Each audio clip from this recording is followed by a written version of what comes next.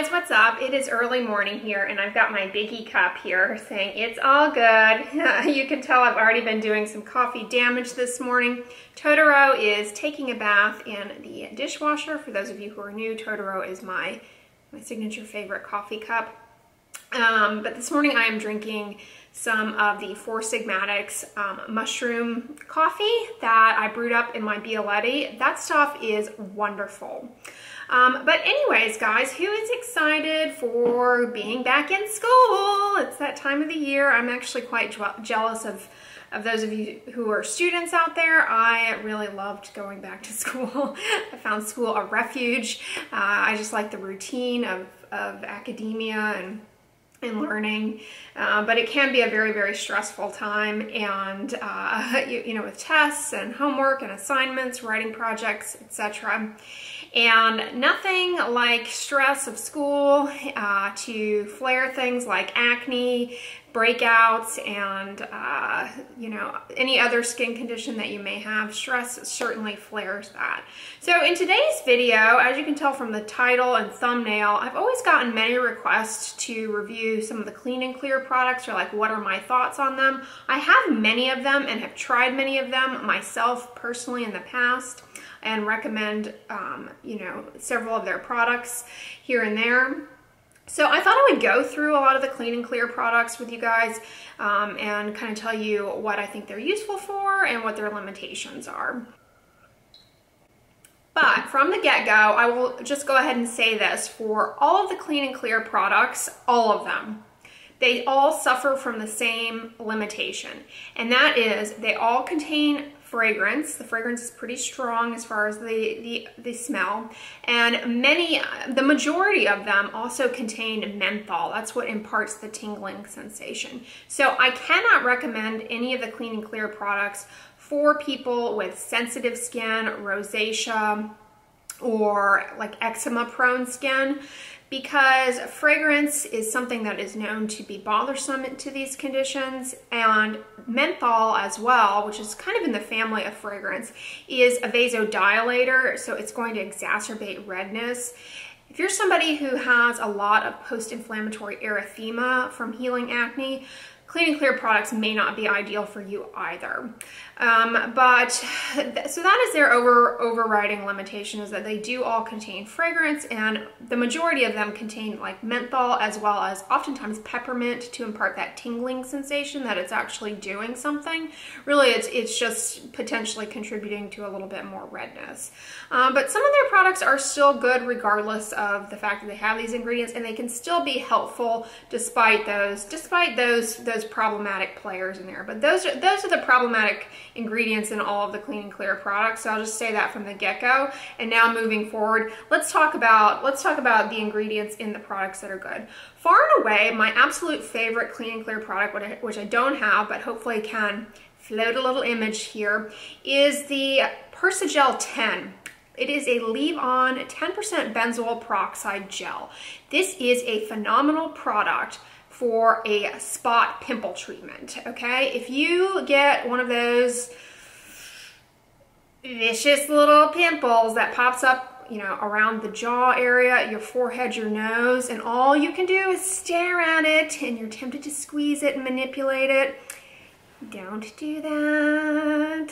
it won't make it better, but this product can help it quite a bit. It's a 10% benzoyl peroxide leave-on gel. The way to use it is to just take your pinky finger and get a little pinky-sized dot of the product on your, on your pinky to your clean and dry face. Just put it out on there and rub it in a gentle little circle to make a thin film and allow it to completely dry and do not touch it. That uh, The benzoyl peroxide is wonderful. It is anti-inflammatory, it is antimicrobial, and it will kind of help to draw out some of the inflammation within the, within the pimple itself. It will help the pimple, quote, come to a head.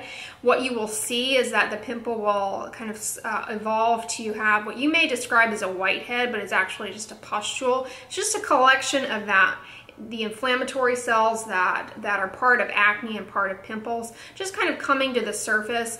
The Persagel 10 can really, really help with that, all right? This is what you need to know about using this product. A, it is incredibly drying, all right? B, it, as I said, the active ingredient is benzoyl peroxide. And you may be using topical tretinoin, and you may have recalled my other videos, I've said tretinoin and benzoyl peroxide should not be combined together because the benzoyl peroxide can oxidize the tretinoin and compromise its efficacy, all right?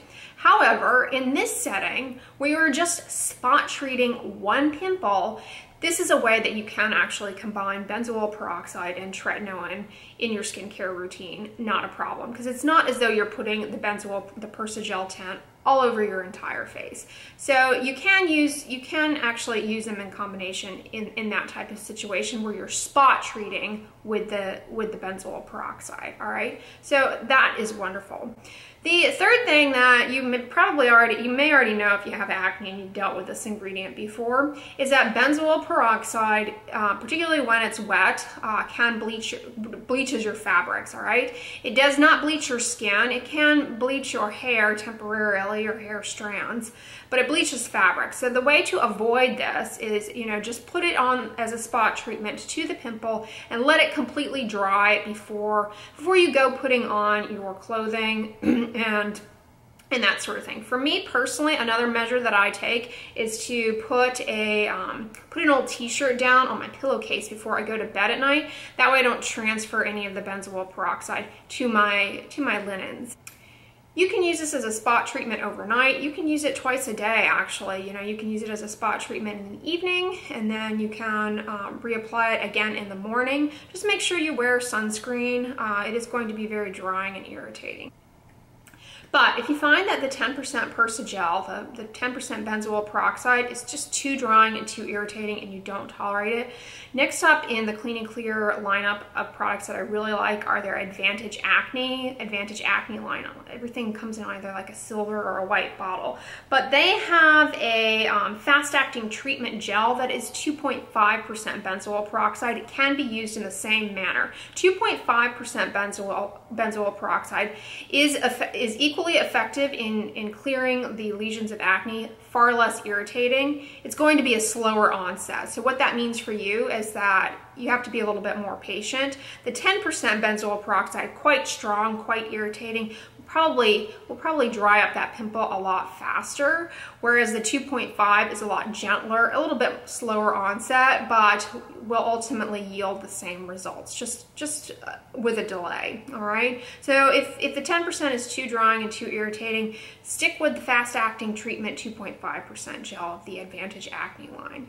They also make a, in the Advantage Acne line, they also make another face wash, a face cleanser that I'm a fan of that is a 5% benzoyl peroxide wash. The way to use this in acne is to slather it in the affected areas where you have acne and let it sit on the skin for a few minutes and then rinse it off. Um, and by doing it this way, if you're somebody who has always found benzoyl peroxide drying and irritating, this is a great way to kind of introduce it to get some good acne control. It is still effective as a wash form like this, um, and it's just a, a helpful way to, to use it if you find that overall it's too drying and irritating. So the 5% benzoyl peroxide wash is, is another great one from their Advantage Acne, Advantage Acne line.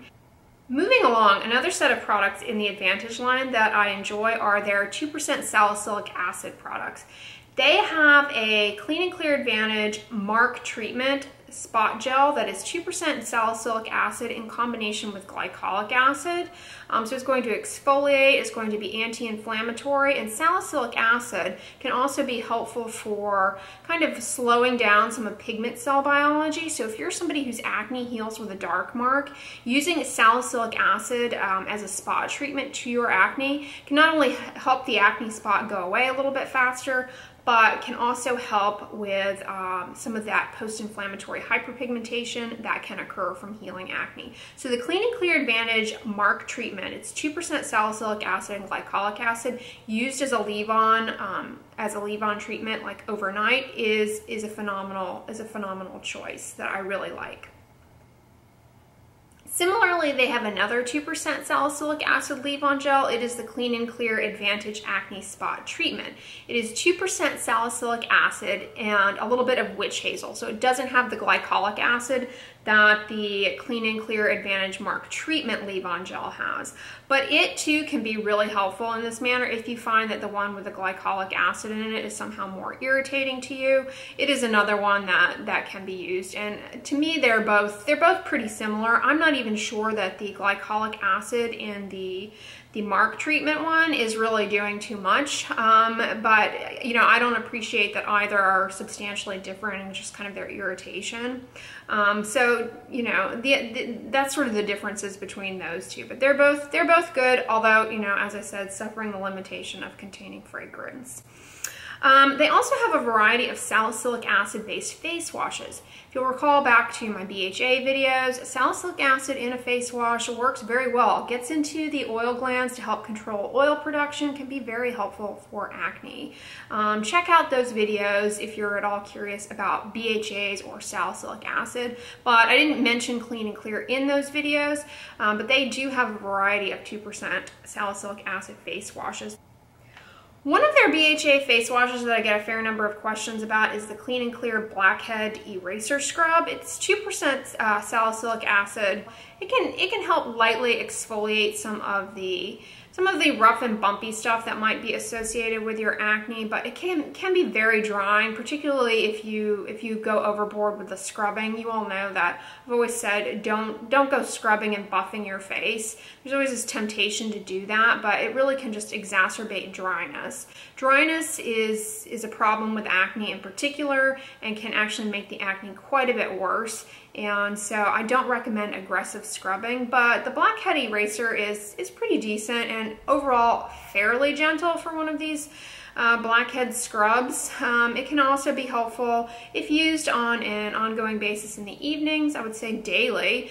Uh, for mitigating the appearance of pores, many of you are always asking me about stuff that can be helpful for pores. This one can actually be helpful. It sort of wicks away some of the oil that makes the makes the pore appear more prominent and then likewise can can help impart some long-term control on oil production via the salicylic acid in in the scrub. So it can be helpful in that that manner for for pores.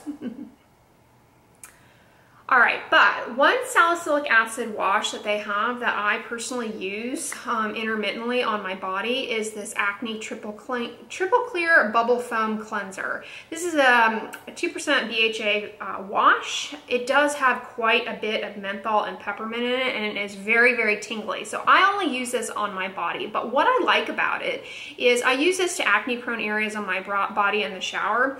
And what I do is I kind of step outside after the skin gets wet, I kind of step step out of the, the direction of the water.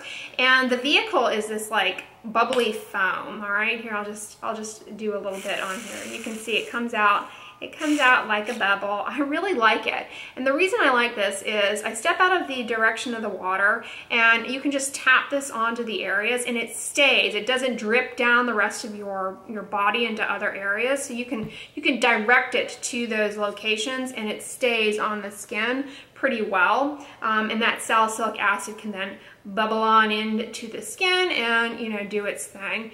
You do that, you know, leave it on the skin for a few minutes and then rinse it off. As far as, and also for ingrown hairs in the beard area related to shaving, this is also pretty good to lather up as kind of a pre-shave, let it sit on the skin with that bubble foam. You kind of look like Santa Claus, um, you know, with a bubbly beard. Let it sit on there and then rinse it off before shaving. Um, men, you know, this is this is kind of clean and clear. I feel as though a lot of their products, you know, are marketed more towards like teen girls and adolescent women. But I think men out there, um, you know, might find this advantageous in the beard area. Um, the vehicle is kind of useful and uh, it has that nice it has a tingly sensation that you're kind of used to already with a lot of your aftershaves and shaving lotions. If you like that kind of thing, uh, you might find this useful. But if you have sensitive skin, you know, it, will be a no-go for you, but can be very helpful in controlling those, those ingrown hairs. I have a whole video on ingrown hair, so if that is you, check it out. But I like that one quite a bit, and I use it myself on my body in acne-prone areas. Get another sip in.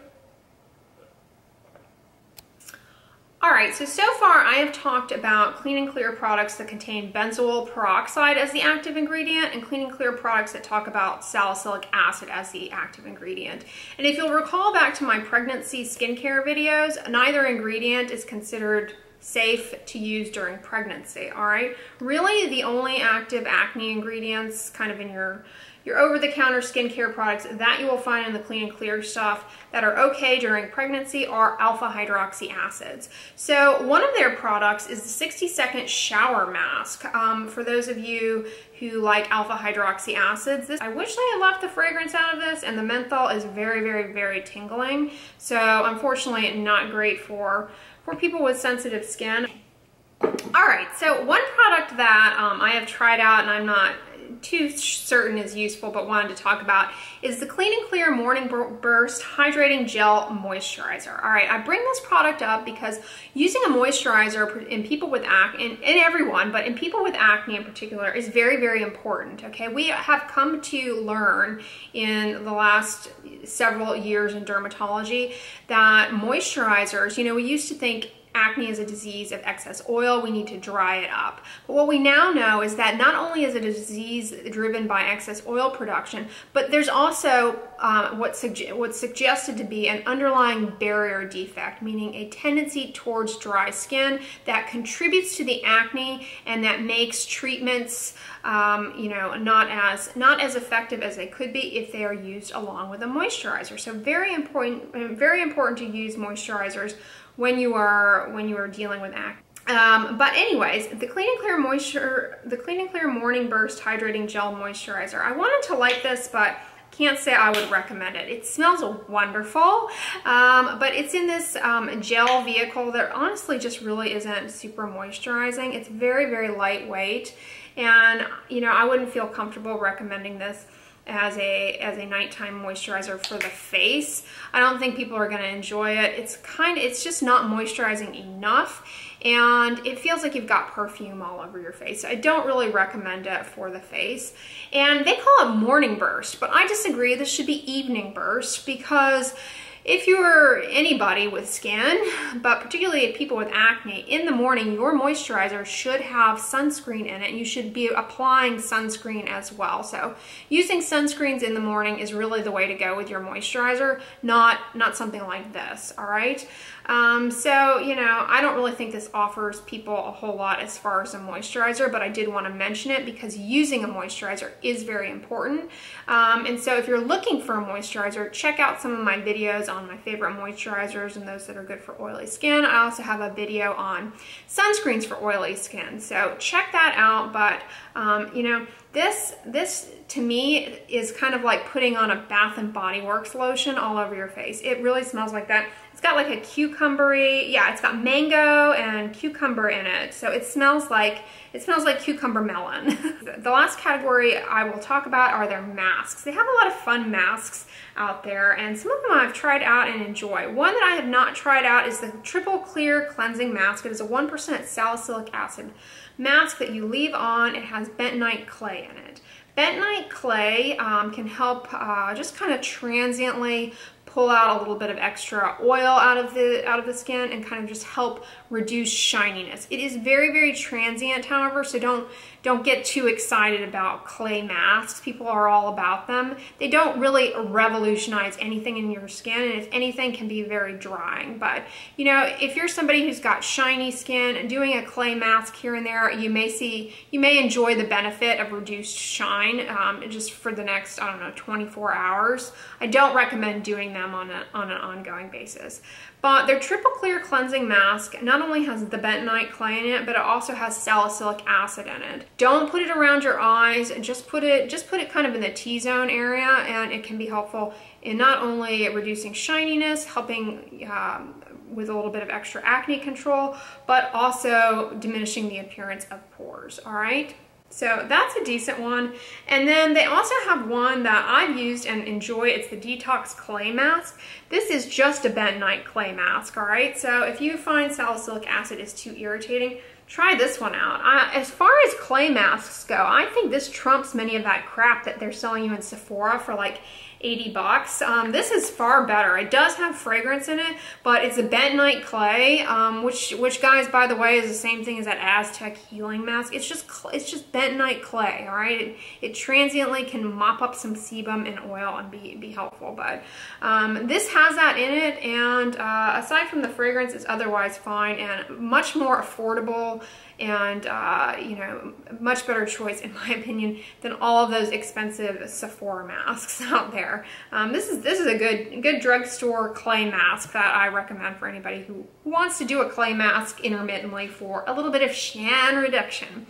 All right, and then they also have this jelly eye mask sheet, which I wanted to like this. I've tried this a few times, all right? I wanted to like this, but I, I really don't understand what's going on here. Uh, first of all, I really wish, again, they had left fragrance out of this. But I don't get why it's only for, for like this half of your face, right? It's called an eye mask, but it also gets your forehead and your upper cheeks area. So, you know, I don't understand why they left out the, the, the other, the lower half of the face. It's really difficult to put this on. It slips around and everything. It's kind of like the Neutrogena um, Hydro Boost masks, really just difficult to apply and doesn't stay on particularly well. Uh, and I didn't really think that it offers, I don't really think that it offers too much. Uh, but it's not, you know, there are worse masks out there. Uh, I just don't understand why why they left out the lower half of the mask.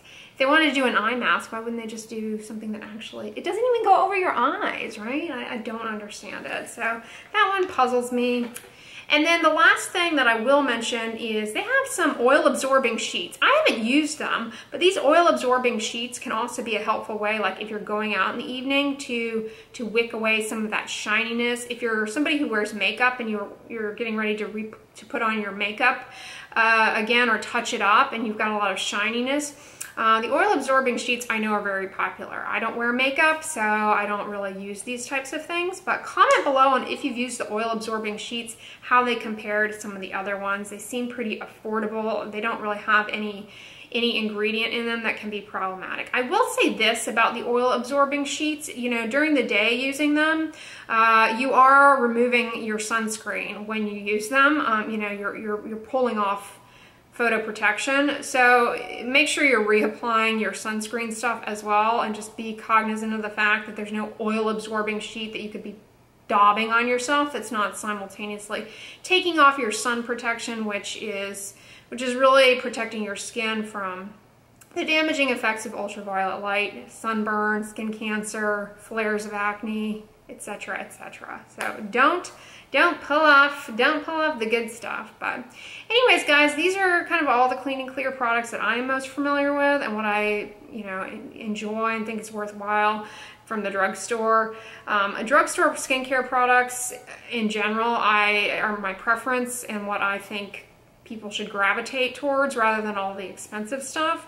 I know this is a very popular drugstore line, so I wanted to review as much of it as I could for you all. Um, and I know it tends to be marketed towards some of those, you know, some of my younger demographic who, who asked me about it a fair amount. So hope this video was helpful. If you liked it, give it a thumbs up, share it with your friends, and as always, don't forget, sunscreen and subscribe. I'll talk to you guys tomorrow. Bye.